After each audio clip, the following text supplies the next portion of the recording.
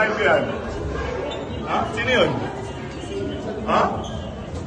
Tapos nandiyan yung mga anak ko, gaganon siya? Ano? Yung anak ko maayo, dumadaan ka sa akin, sino ka? Ko, yung kasama, kasawa mo yun, kapatid mo? Pare, ay, yung mga anak ko, gaganon niya. Sige.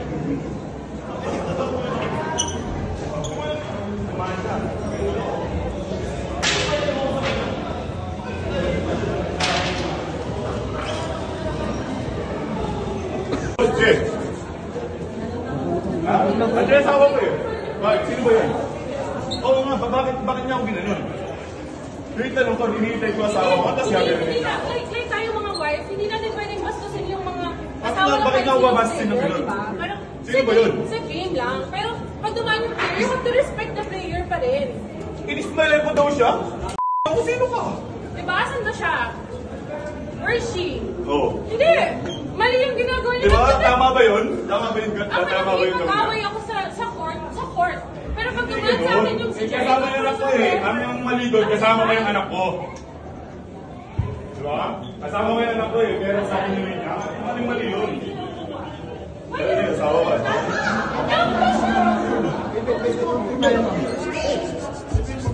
Hey, Mo! Ano yung asawa mo, Mo, ha? Hey, fuck you! Gusto mo sabahan tayo, Mo? Ugly ass!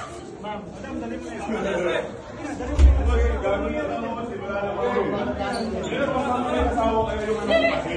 Bastos yung asawa niya eh. Papasok pa lang ako sa magagawa dyan. Dapat i-mind yung asawa niya dito.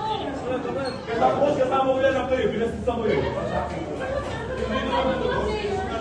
After game, respect pa rin. Wala naman akong ginawa.